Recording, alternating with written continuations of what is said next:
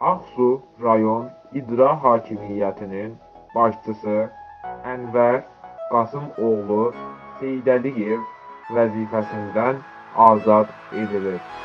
İlk az xəbər verir ki, bununla bağlı Azərbaycan Respublikasının prezidenti İlham Əliyev sərəncam imzalayıb.